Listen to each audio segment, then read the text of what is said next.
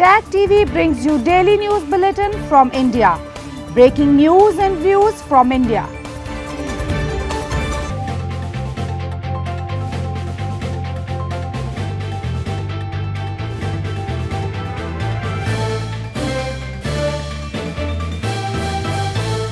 Good evening. Welcome to South Asia Newsline. I'm Yeshi Chanzom. Here are the top stories we are tracking for you on Monday, the 19th of October. Schools metros partially reopen in India amid surging coronavirus cases. PMLN leader Maryam Nawaz's husband Safdar Awan arrested in Karachi.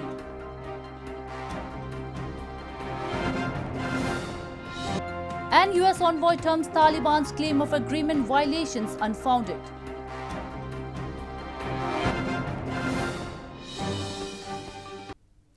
And now for all the details. Schools and metro trains partially reopened after over seven months in parts of India on Monday, even as the country's coronavirus cases tally crossed 7.5 million. Doctors and health experts have expressed concern about an escalation in cases as the festive season has also kicked off. Several Indian states, including Uttar Pradesh and Punjab, partially reopened schools on Monday after being shut down for over seven months, even as the country's coronavirus cases tally crossed 7.5 million. Masked students attended schools with physical distancing norms, hand sanitization, and temperature check as authorities allowed schools to reopen with students from class 9 to 12 to attend classes voluntarily with parental consent.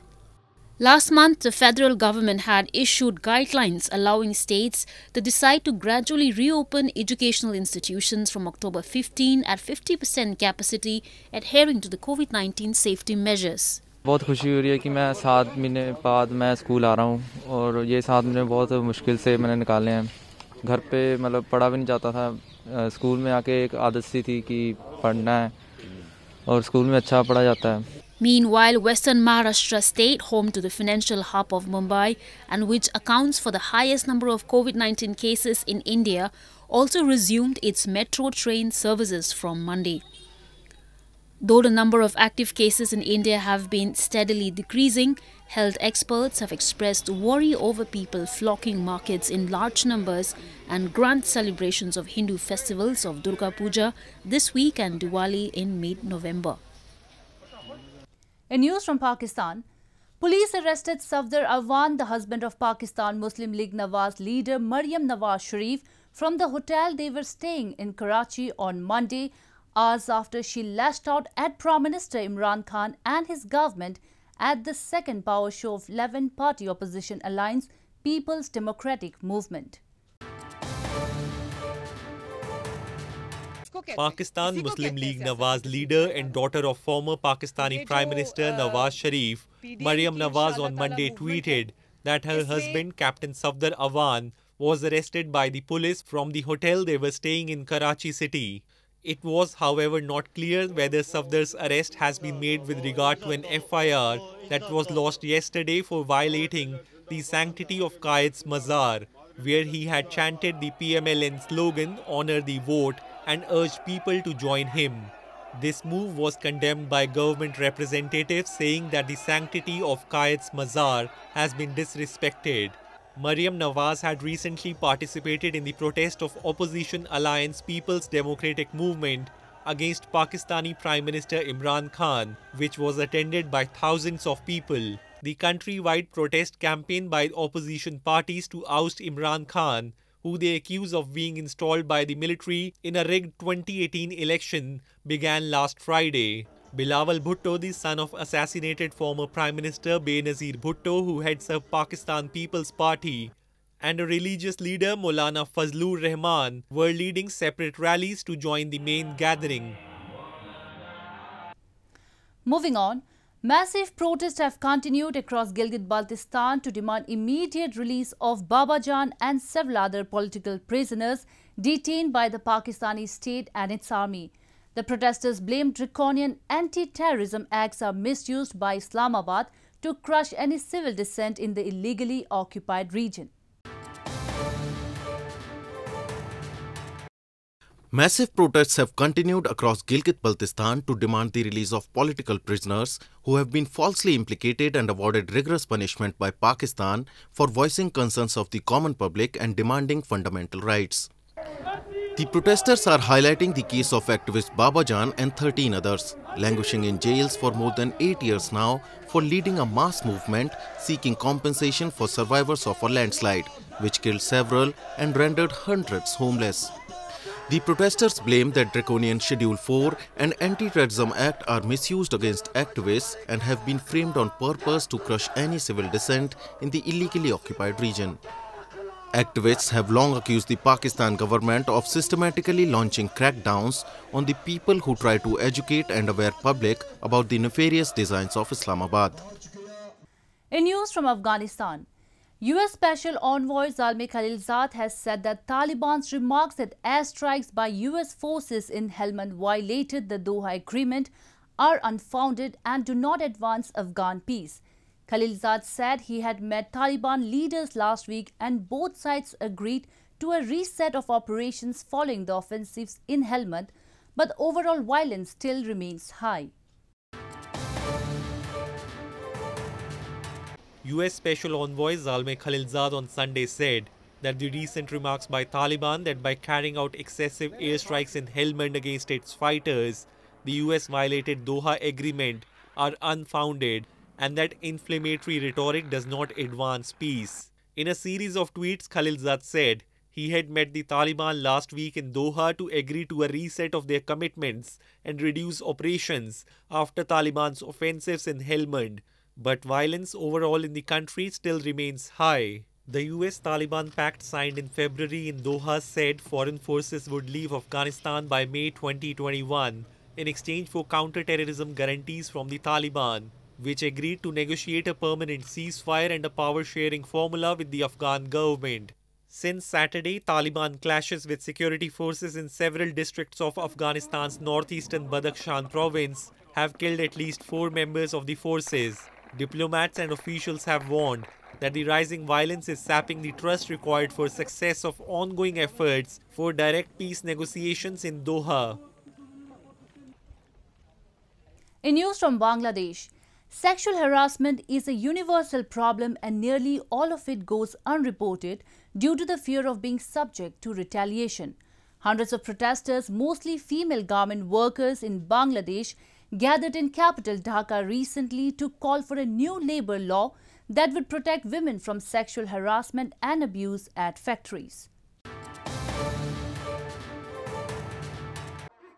Hundreds of protesters, mostly female garment workers, gathered in Bangladeshi capital Dhaka on Saturday, calling for a more worker friendly workplace and a new labor law that would protect women from sexual harassment and abuse at factories. Bangladesh, which ranks behind only China as a supplier of clothes to Western countries, relies on the garment industry for more than 80% of its exports and about 4 million jobs. While factory safety had improved since the 2013 Rana Plaza disaster, Bangladesh was backsliding on workers' rights, according to a report in March for an influential US Senate committee that urged authorities to do more to protect labor rights. করে নতুন আইন, নতুন বিধি সংশোধন করুক, এটাই আমাদের প্রত্যাশা। কারণ আজকে দেখা যাচ্ছে শ্রম বান্ধব, নারী বান্ধব, কর্মপরিবেশ এবং আইন না থাকাতে নারী এবং বিশেষ করে শ্রমজীবী নারী এবং শ্রমিকরা পদে পদে বঞ্চিত হচ্ছে। এখন বর্তমানে যে রুলস তৈরি করছে বা সংসদে যাবে, সেটা শ্রমিকদের পক্ষেই না, সেটা শ্রমিকদের বিপক্ষে। তাই আমরা বলতেছি, শ্রমিক বান্ধব আইন এবং শ্রমিক বান্ধব রুলস সংশোধন করুন The study for the United States Senate Committee on Foreign Relations found that union leaders face threats and intimidation, hampering their ability to investigate claims of abuse, most of which were from women workers who make up the majority of workforce in Bangladesh's garment industry. Moving on to news from Nepal. Nepal's government has decided not to bear test and treatment expenses of coronavirus patients amid surge in COVID-19 cases. A large number of people, especially those depending on daily wage, will be adversely affected as the standard COVID 19 test costs 2000 Nepali rupees in private labs. Amid the continuous surge in COVID 19 cases, the Nepal government has decided not to bear expenses of all virus infected people and not to bury infected people who died during home isolation. The decision, which was made earlier week by Prime Minister KP Sharma Oli's government, has been made public on Sunday through the daily COVID 19 briefing held by Ministry of Health and Population. Government hospitals and labs have been conducting the tests for almost free of cost as they earlier used to receive reimbursement from the government on the basis of tests conducted. र उल्लेखित व्यक्तिहरूले कुनै बिमा कम्पनीबाट corona बिमा गरेको भएमा परीक्षण र उपचार खर्च निजको बिमा रकमबाट बेहोरिनेछ अन्य सबै किसिमका व्यक्तिहरूको परीक्षण तथा उपचार व्यक्तिकै आफ्नै खर्चमा गर्ने गराउने Kathmandu Valley, which hosts almost half of the active cases in real time, have the highest number of infected ones in home isolations as the hospital run out of beds and other infrastructures. Nepal's COVID caseload has reached 132,246, including 39,341 active cases. An artist in India's eastern Kolkata city decided to pay homage to migrant workers whose plight under lockdown moved the country with a migrant-themed pandal, a kind of marquee that is decorated each year for Durga Puja festivities. India's millions of migrant workers whose plight under lockdown moved the country received a unique tribute at a festival celebrating the Hindu warrior goddess Durga, which started on Saturday.